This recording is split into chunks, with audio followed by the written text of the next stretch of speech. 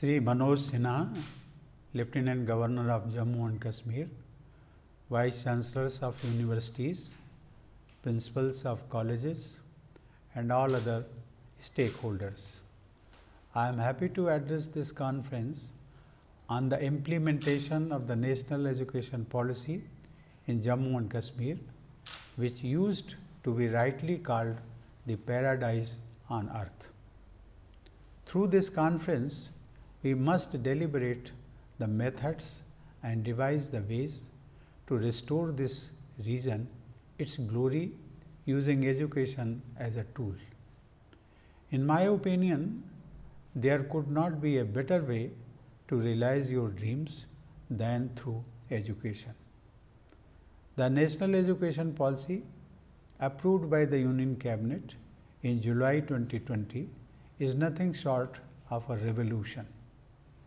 So far as Jammu and Kashmir is concerned, I have been meeting and interacting with the school children from the region at Rashtrapati Bhavan every year. In my own experience, I can say it with conviction that Jammu and Kashmir is a reservoir of extremely intelligent, talented, and innovative children. I feel that the implementation of the education policy will produce students with ignited minds, if I borrow this phrase of my illustrious predecessor, Dr. APJ Abdul Kalam. Such youth would unleash the hidden potential and take India to greater heights in future. Dear participants, the unfolding of India's growth story rests on the talent and energy of its youth. Our nation has an unprecedented demographic dividend, but it can be realized only if the young people constituting a substantial segment of the population become skilled, professionally competent, and above all educated in the real sense. In this regard, the national education policy will prove to be a milestone. I firmly believe that education is the biggest catalyst for change and the youth is the most potent agent of social transformation. And whenever these two forces have come together, it has changed the course of history. Dear participants, Kalhan, the great Kashmiri scholar and poet, in his masterpiece Rajtarangini, had said, I quote, learning, lofty homes, saffron, ice water, and grapes, things that in heaven are difficult to find are common here. Unquote. It is important to note that the learning figured first among the five things that he referred to. Jammu and Kashmir is a land of rich and diverse cultural traditions. From Hinduism to Buddhism to Sufi Islam, all faiths and beliefs have found home in the cultural ethos of this land. This peaceful and shared coexistence manifests in the lives of its people. We should always remember that education brings people together, it is ignorance that divides. Jammu and Kashmir, since time immemorial, has been a center of literature and learning, science and spirituality.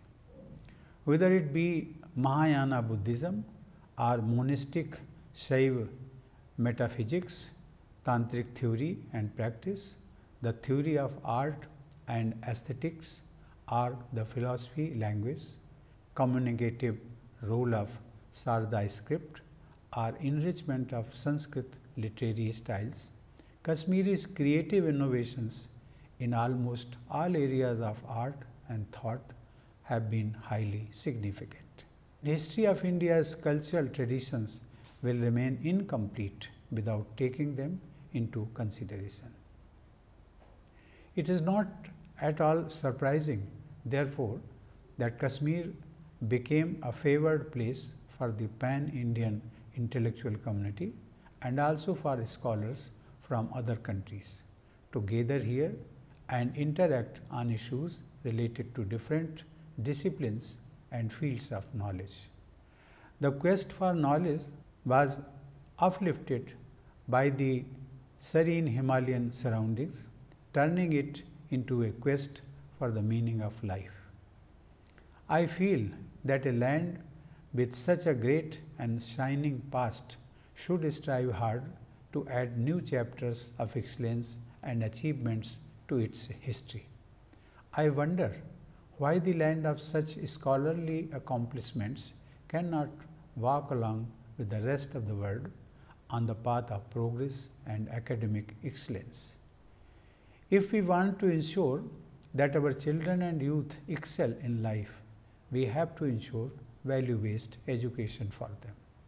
To understand your value system, you need to understand your roots, your tradition, and rich cultural heritage. This understanding cannot be complete without taking your mother tongue into consideration. In this context, I feel the national education policy has done a great service. The most encouraging feature of the policy is that it adheres to the cultural ethos of each region. The three language formula, which is envisioned in the policy, is of immense significance and can promote multilingualism as well as national unity. However, there will be greater flexibility in the three language formula and no language will be imposed on any state or union territory. Dear participants, education is the biggest enabler. It enables us to take charge of our destiny and we want to enable the youth of Jammu and Kashmir to become masters of their fate. The new policy, with its emphasis on vocational education, has given us a blueprint to realize this dream. Prime Minister Narendra Modi has given a call to make India Atmanirbhar or self reliant. And this is possible only when we make our youth self reliant. Vocational training will play an important role in this regard. The policy focuses on ensuring accessibility, equality, affordability, accountability, and quality in education, and also tends to encourage skill development, experience based learning, and logical thinking. I think this will ensure new and better pedagogical standards in the country. We live in an era where research and innovation are the keys to success and development.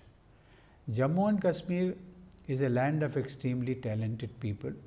Its youth have excelled in every field.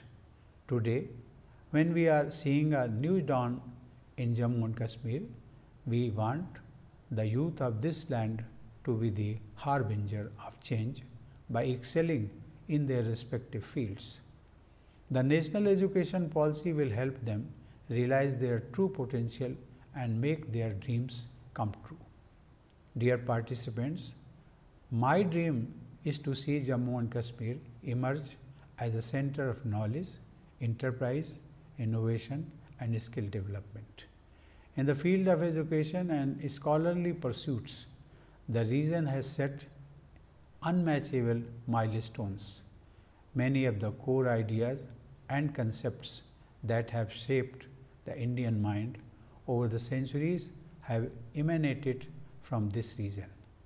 I hope that through this conference you will make determined efforts to make this paradise a hub of knowledge, innovation and learning by implementing this policy in letter and spirit.